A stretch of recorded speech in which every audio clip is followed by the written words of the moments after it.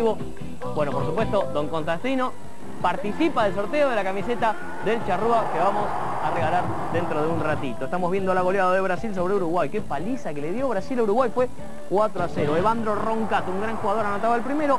Ederson el segundo. Junior, este que estás viendo, el tercero.